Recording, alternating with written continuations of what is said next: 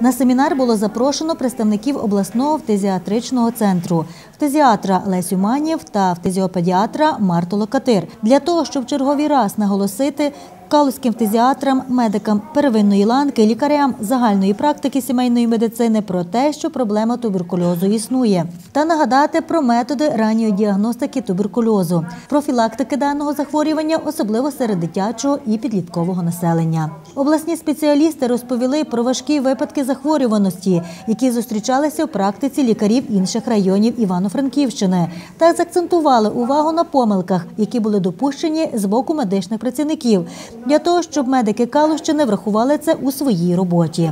В рамках проведення щорічного місячника боротьби з захворюванням на туберкульоз на Калущині проводяться різноманітні заходи, каже заступник головного лікаря Калузької ЦРЛ Валерій Поляниця, для того, щоб вкотре привернути увагу громадськості до цієї проблеми. Найближчим часом планується аналогічний семінар і для лікарів вторинної ланки.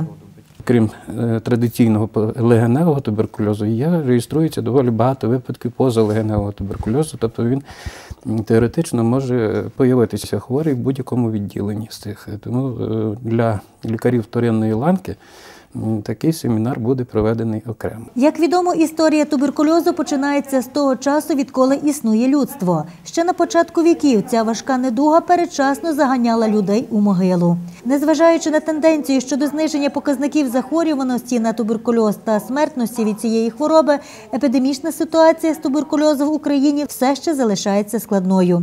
Відрадно те, що на Калущині захворюваність на туберкульоз протягом останніх двох років залишається стабільною. Протягом останніх двох років ситуація в Калузькому районі і в місті Калуш, власне кажучи, є стабільною.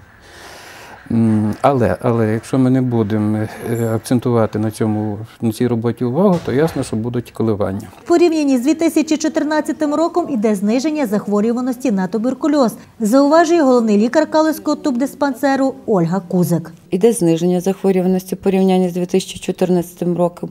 Показники є нижчими, ніж середні по області.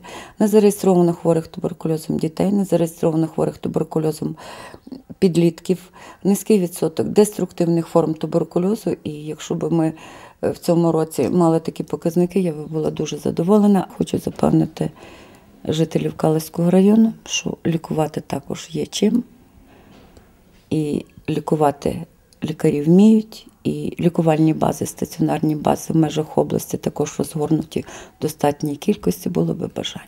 З кожним роком удосконалюється система лікування та виявлення туберкульозу у населення. В обласному центрі діє потужна діагностична система, яка дозволяє протягом доби встановити діагноз та призначити правильне лікування. Франківську зараз в лабораторії, це, це вже третинний рівень. е, Вони поставили в себе потужну діагностичну систему, яка дозволяє протягом доби підтвердити діагноз, сформулювати діагноз і, в принципі, підібрати лікування. Напруженій ситуації з туберкульозом вимагає нових підходів до виявлення та його лікування. Для цього необхідно об'єднати загальні зусилля медичних працівників, пацієнтів та суспільства в цілому в боротьбі з цим захворюванням. Адже введення нових ефективних форм лікування дасть можливість вилікувати більшість хворих на туберкульоз.